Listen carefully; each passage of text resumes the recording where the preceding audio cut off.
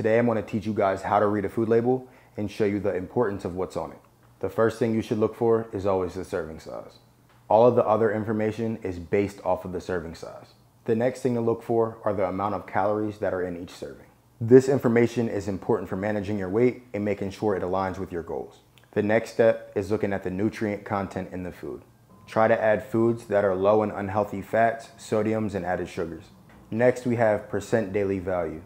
This tells you how much of each nutrient in a single serving is recommended for your daily intake. And lastly, ingredients. Choose foods that have whole natural ingredients. Avoid foods that have added sugar and artificial preservatives. If this was helpful to you, make sure you follow for more tips.